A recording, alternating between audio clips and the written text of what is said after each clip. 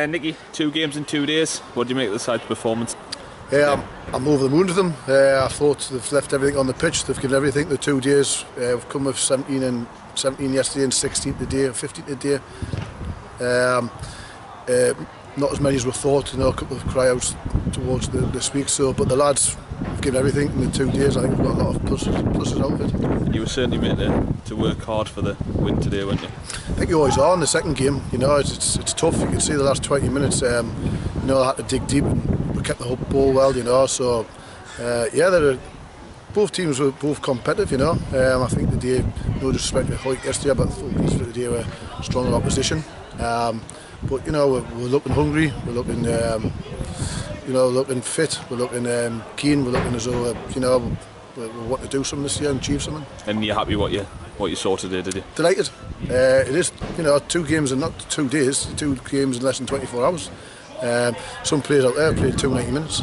Uh, you know, four players like that, so it's, it's, that's tough. So, you know, they've, they've asked them to give everything and they did, in that all you can ask for. And you know, the lads are getting to know each other, new players, and we'll have a few drinks tonight and uh, go back to home. And was it disappointing to, to concede two goals in the manner you did? Well, it always is, you know, but um, you know, I felt sorry for the keeper Neil. You know, he's, you know, everyone's what the challenge for positions and all that, you know, and he's, he's, he's, he's um, you know, he's made a mistake for a goal kick, but at the same time, the defender should have been the other side of the centre forward. You know, you're just expecting someone to do the job, and you can't be doing that. You know, you've got to do things right. But to be fair to Neil, he's done two two good saves after that, two or three good saves. You know, so he's, um, but yeah, he's disappointed. But if you're going to get them poor things happen, you're going to get them now. More, there's a lot more positives than negatives in pre-season, that's for sure. You made a, note, uh, a handful of changes today. Luke Carr coming to the side. Brilliant performance from him. Yeah, but you had to. Um, you know, it's, like a pitch, a 3G pitch, and he didn't start yesterday. Everyone who was sub yesterday starting today. Uh, Luke's a very good player. Uh, he's just got to do um, the ugly stuff of football better. Um, and if he does that, he'll be flying, you know. And um, we've got competition all over the place in this squad now, you know. And you can tell that people being hungry and want to try the best, and you know, and the keen and you know, Luke's great on the ball. Uh, if we can get the, the other stuff off the ball better with him, then you know you've got some hell of a player there. Liam Henderson debut today looked a real threat, and he managed to get a goal as well. He did. Well, Liam showed what he's about. You know, he's got pace, aggression, good first touch, good movement, brings players into it, can head a ball, can control a ball, can score goals. A great run, great goal it was. You know, the one he scored, great move.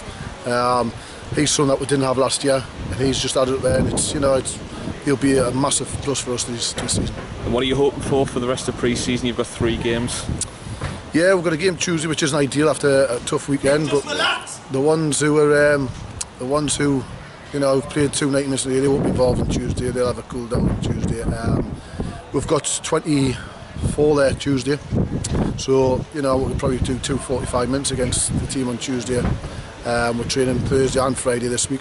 Um, and I've got a couple of games after that, so we're gradually building up, you know, and you know the next game and the next friendly, the next one or two friendlies, that's when we've got to look at seeing what we're going to start the season with. Um, everyone's back after holidays after this week, ball one or two.